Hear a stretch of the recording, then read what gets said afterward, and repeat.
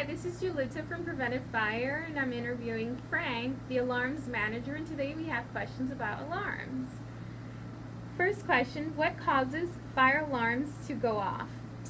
Well, there's a there's a few reasons fire alarms can go off. Um, obviously, a full alarm, you'll have all your bells and whistles going off as well, your horn strobes and your strobes. Um, you can have trouble signals, which will just cause a beep at the panel.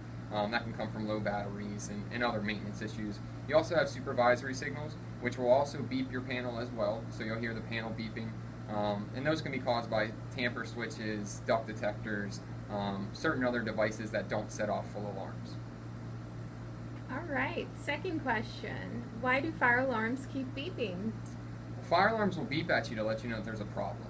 Um, if the thing's beeping and there's any yellow lights or, or, any lights that aren't just solid green, that'll mean there's a trouble or, or some sort of maintenance issue on your panel. Um, you'll want to contact your fire alarm provider um, or either your local service technician and have them come diagnose that issue. Third question, when should you replace fire alarm equipment? Well, you can replace fire alarm equipment for a few different reasons. Um, obviously, if the equipment's malfunctioning, um, if the device is false alarming, or if the device is stuck in trouble, um, you're obviously going to want to replace that device ASAP. But also upgrading your fire alarm system. So, you know, there, there's old panels out there that are still 20 or 30 years old.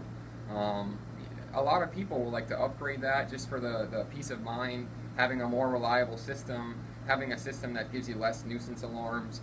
Um, but all this stuff is, is also, it's mandated by the AHJ, which is your authority having jurisdiction, or the fire marshal. Um, so any deficiencies on your fire alarm system, they're going to have to be corrected immediately, or else you can be subject to fine, as well as liability with your insurance company and other issues like that. Fourth question, why are fire alarms important? Well, that, that's a pretty key question. Um, the obvious reason for fire alarms being important is that it saves lives. Um, when a fire goes off, you know, you're going to want some sort of detection or some sort of notification to let other tenants in the building know, as well as if the system's monitored to let the fire department and your alarm company know as well.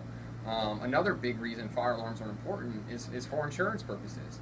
Um, not only can you get insurance breaks for having complete fire alarm coverage, but also it protects your building. If, if, there's no one in the occupied space or if a fire happens in the middle of the night, um, that fire can just keep burning and burning and burning until someone either drives by and sees it or you show up in the morning. With a fire alarm system, it'll offer early detection to that fire.